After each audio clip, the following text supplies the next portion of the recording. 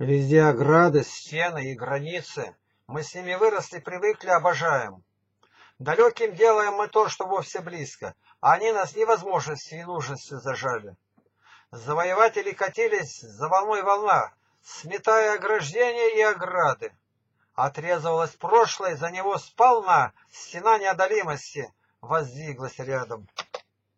Стена китайское столетие возводилась, ее из космоса отметили приборы.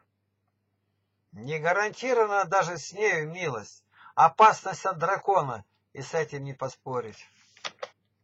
Опасности от яда и бацилл клубятся в воздухе миазмами последствий. Никто еще тех полчищ не разбил, им ничего не стоит в нас пролезть. Господь наш пастырь, лучшая стена, защита от врагов и супостатов. Леп рыкающий лезет, сатана, незащищенных уязвляя в пятку. Он у Христа за пазухой, на лоне, привычно произносит и неверы. А о Христе не слышат и не помнят, греху распахнутые без запора двери. Писанием своим владыка защитит, без маршалов, орудий, военных академий. Реальная охрана, не мифы и мечты, непробиваемая броней святостью оденет. Защита многослойная в посте с молитвой, в доверии к вождю, не знавшим поражений.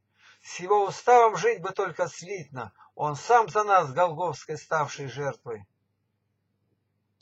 В апокалипсисе в видении Иоанна знакомят нас с небесным чудным градом, и там стена, двенадцать оснований. Не запирается ворота. Противников нет рядом. 25 июля 2007 года.